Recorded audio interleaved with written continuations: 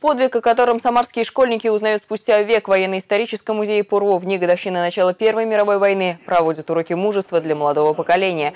Учащимся рассказывают о так называемой самарской «стальной дивизии», принимавшей непосредственное участие в знаменитом Брусиловском прорыве.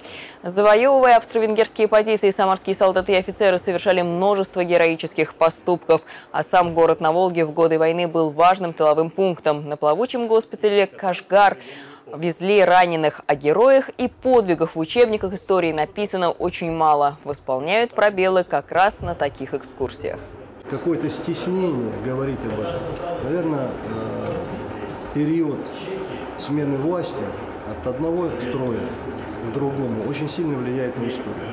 Хотелось бы, чтобы молодежь знала не только события сегодняшнего дня или говорили о Великой Отечественной войне, но вспоминали и тех, кто вообще-то создавал историю в начале 20 века.